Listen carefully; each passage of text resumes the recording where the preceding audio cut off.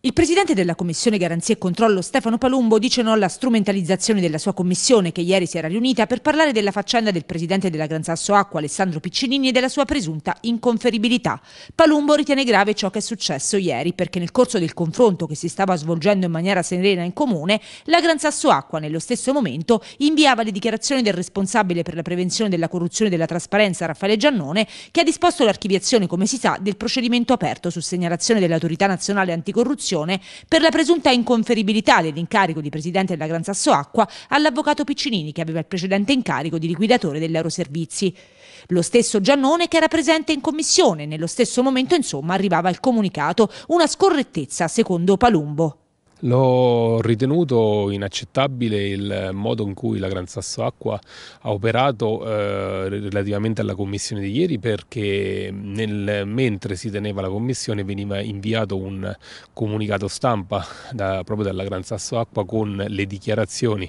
eh, del responsabile eh, della prevenzione per la corruzione eh, con una commissione ancora in atto appunto. Era semplicemente una commissione, una presa d'atto delle posizioni eh, tra l'altro diverse dei ruoli di vigilanza eh, perché c'era pure, era stata invitata la, mm, eh, il responsabile eh, del, dell'organo di vigilanza, il collegio sindacale e anche i commissari avevano espresso delle opinioni. Doveva essere solo una giornata di confronto istituzionale, senza finalità di carattere politico, ha spiegato Palumbo in conferenza stampa. Sembra quasi che si volesse far passare l'idea che la Commissione avesse avallato la tesi pur legittima di Giannone, ma non è così. Anche i commissari avevano delle perplessità. Per bocca loro, dice inoltre Palumbo, emerge che ci sono altri approfondimenti di altri organismi ritengo veramente inopportuno anche in virtù del fatto che a margine proprio a conclusione della commissione era emerso un fatto anche sostanziale, ovvero quello di, da parte diciamo per bocca loro eh, di indagini giudiziarie